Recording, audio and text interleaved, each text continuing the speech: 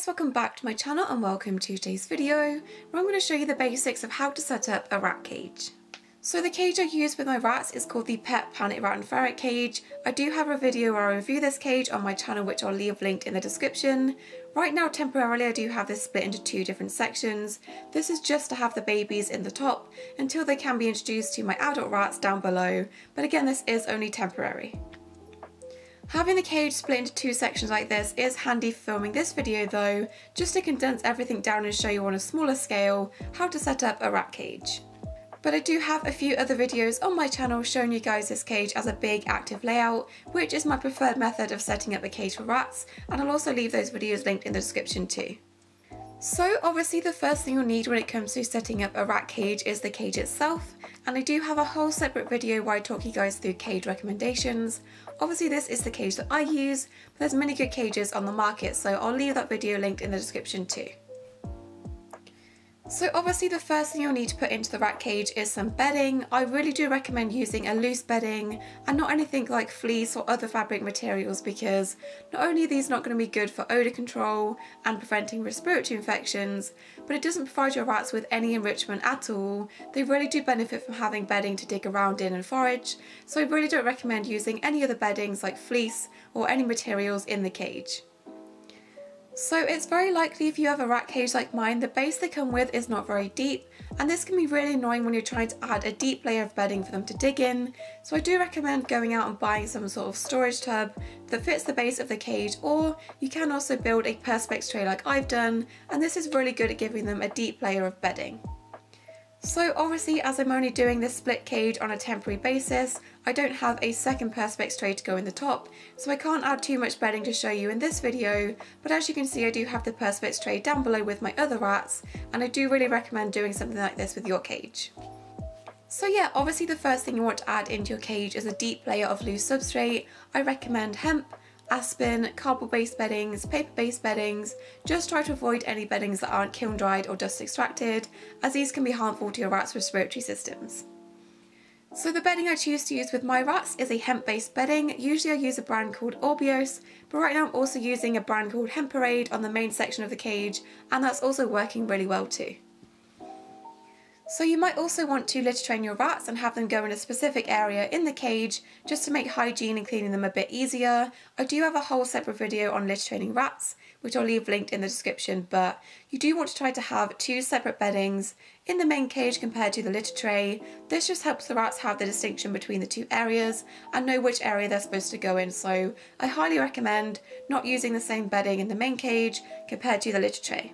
So for this you are going to want to use a paper based litter whether this is aimed at cats or small animals. Make sure you're using a paper based litter and not regular cat litter. This is going to be really absorbent for their litter tray but also a safe option for them. So this is what the litter tray looks like. I do prefer to use ones that are corner litter trays just because rats tend to prefer going to the toilet in a corner. So this is the type of litter tray that I use and when I do have the full cage I do have two litter trays in the cage and I do place these underneath where they sleep. Rats tend to be quite lazy when it comes to going to the toilet so placing them underneath their favourite hammock works really well because they just drop down and go to the toilet so you might have to play around with the placing and the positioning just to make sure they are using their litter trays as they're meant to. Next it's time to add in all of the toys and accessories into your rat's cage, starting with plenty of things for them to climb on. I really do believe in giving your rats an active layout and making the cage as active as possible, and that's why normally you won't see many shelves or levels in my cage, just to make sure my rats are being as active as they can.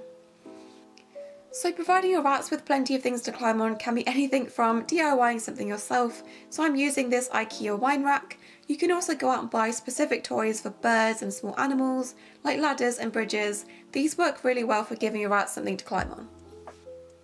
I also recommend providing them with some ropes to climb on. I do recommend looking either the bird section or the dog section. That's where you're more likely to find big, long, thick ropes.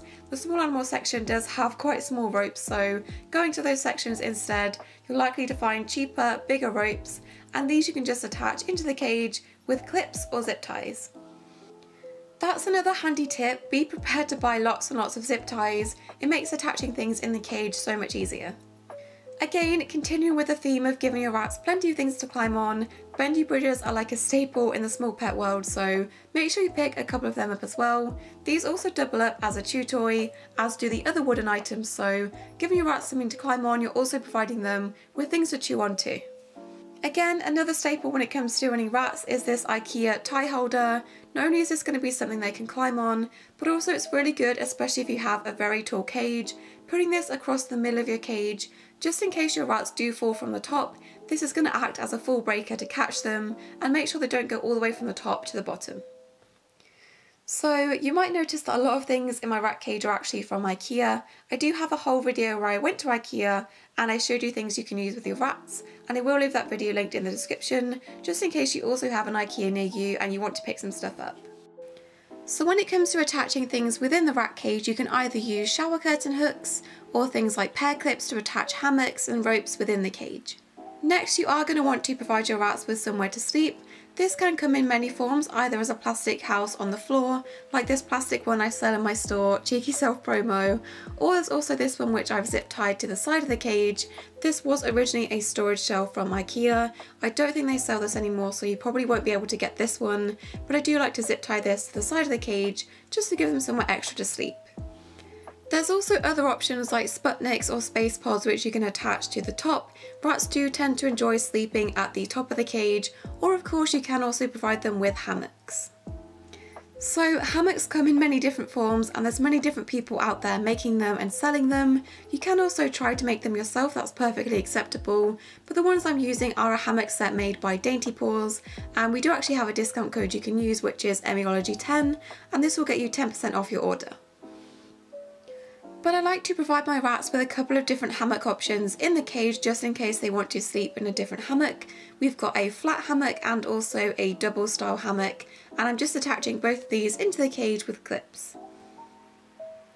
Then you'll probably also want to give your rats different types of toys as forms of enrichment. These can come in so many different forms, either hanging wooden and rope toys, hanging loofah toys, chew toys on the floor like willow balls. I like to give my rats a variety of different types of toys and switch them up on a regular basis so they don't get bored. But you also probably want to add some of those in too. Next you might want to add in a lava ledge into your rat's cage. Not only are these going to be good for your rats to climb on the bars, but also you can position these underneath their water bottle and in theory they should help to keep their nails down. Also, you can provide your rats with these wooden perches or branches. These come in a couple of different forms. I have these wooden ones and also some blue ones and some green ones.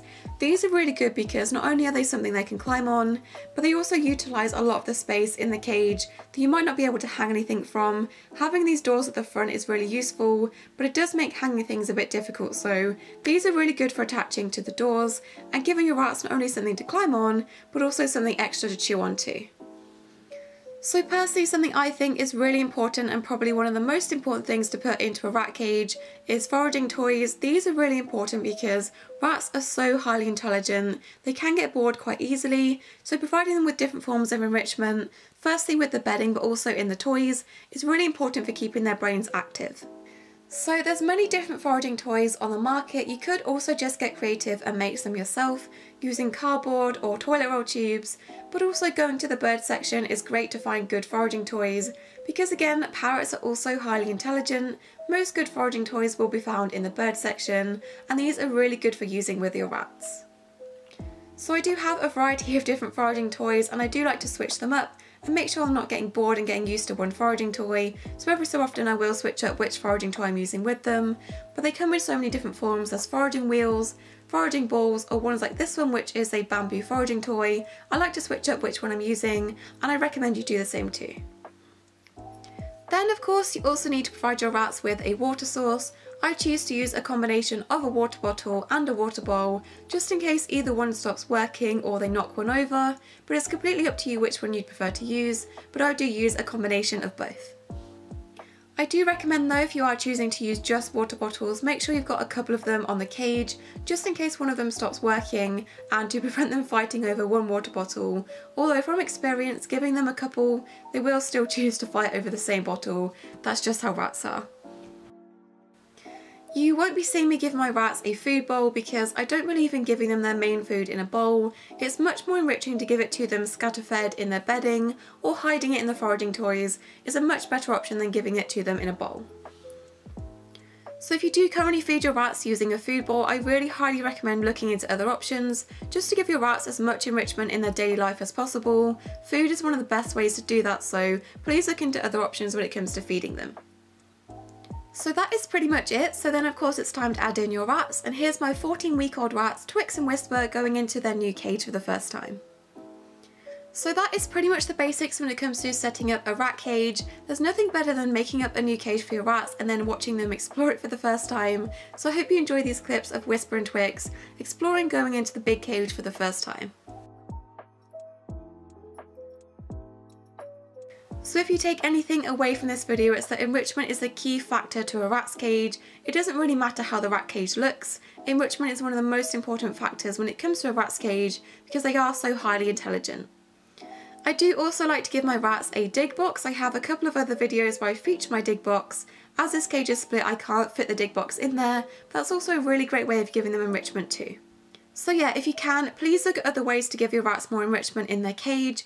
They spend the majority of their time in the cage, so making sure it's really enriching for them is so important, whether that's with foraging toys, or giving them a loose substrate, or scatter feeding them. Just try different things with your rats, just to make sure their lives are as interesting as possible. So I hope this was helpful if you're looking at setting up a rat cage for the first time, or you're looking at other ways to make your cage a bit more interesting.